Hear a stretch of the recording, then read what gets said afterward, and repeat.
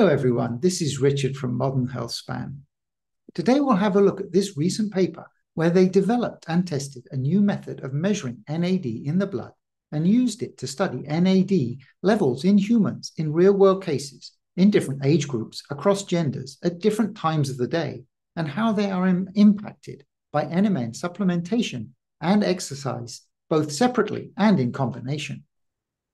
NAD levels go down with age and modulating them is emerging as a potential intervention for diseases of aging. However, the natural NAD levels and their response to interventions differs between people. And there is no easy and quick way to measure the NAD levels out of the lab at the moment. This makes it difficult to personalize therapies and take into account those that do not respond to NAD supplementation.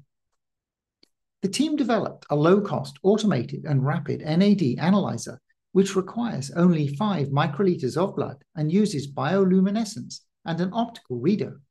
This allows more frequent and local readings to be taken. They used the device to look at some measurements. They saw that aerobic sport and NMN supplementation increased NAD levels, that males had higher NAD than females before the age 50, and that NAD levels were quite stable over time. First, let's look at the method they use to identify NAD. It's probably not necessary to know how the device works, but I think it is really cool, so I've included a quick overview. They created a sensor protein that they called NS-GOG 1.3. The protein was grown by adding the necessary genes to E. coli, which apparently enables cheaper manufacturing. The protein has two elements, NLuc and RFP, when they are close together, the RFP will emit a red light using bioluminescence resonance energy transfer. Normally, the NLuc and RFP are too far apart to produce any radiance, but the protein changes shape when combined with an NAD molecule, which brings them together, and the light is emitted and can be detected by an optical reader.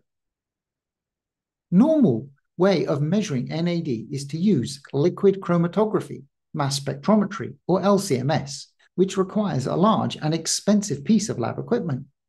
The team compared the results from the assay with that of the LCMS and found that they matched well. The Pearson's correlation was 0.992, where a value of 1 indicates an exact match. The first test they did was to administer NMN orally, either 500 milligrams or 1,000 milligrams daily.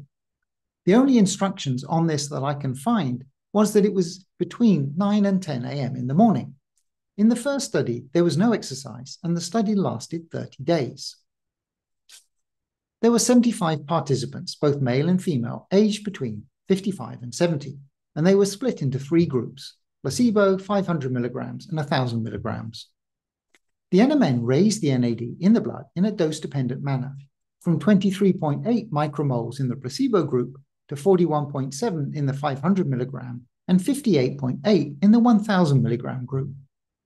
The NAD levels in the treatment groups showed much wider spread than in the placebo, pointing to some participants being non responders. They did investigate this and found a higher expression of NAD consuming proteins such as PARPs and CD38. So possibly they were absorbing the NMN but breaking it down more quickly. The team also saw an increase in methylated nicotinamide showing possibly an excess of nicotinamide. They also looked at NMN with exercise. The exercises were aerobic for 40 to 60 minutes, three times a week, with an increase in intensity after two weeks. The paper refers to aerobic exercise, but the methods section also mentions resistance training three times a week with no further detail. There were 42 participants in a placebo and 500 milligram group. At the end of the study, the placebo group had NAD levels of 33.1 micromoles, and the 500 milligram group had 55.48. This is in comparison to 23.8 and 41.7, respectively, for the same groups in the no exercise study. So, taking NMN raised NAD in addition to the level gained through exercise. Using the test, they checked the NAD levels of a group of individuals of different ages and sexes. The groups were subdivided into those less than 50 and those over 50. they saw that in the less than 50 cohort, the females had lower NAD at 27.2 micromolar against the males having 32.5. However, after 50, the levels dropped faster in the males until there was no significant difference between the two sexes. There were a couple of other interesting observations that they made by taking advantage of the ease of measurement with the new device. They took the NAD level of seven participants at 3 a.m. and 10 a.m. There was a small increase at 10 a.m., but it was not significant. They also looked at the NAD dynamics after giving the participants 300 milligrams of NMN. The NAD levels raised after 60 minutes, but then dropped back to baseline by 120 minutes. They also looked at NAD levels over the midterm by taking them twice a week for 100 days for six participants. During this time, the NAD levels were quite consistent, except for one participant who started taking NMN.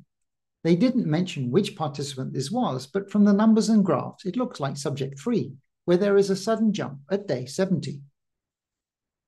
One subject exercised more than the others, for 11 of the 25 days on which NAD was measured, and they reported that he also saw an increase in NAD on the days that he exercised.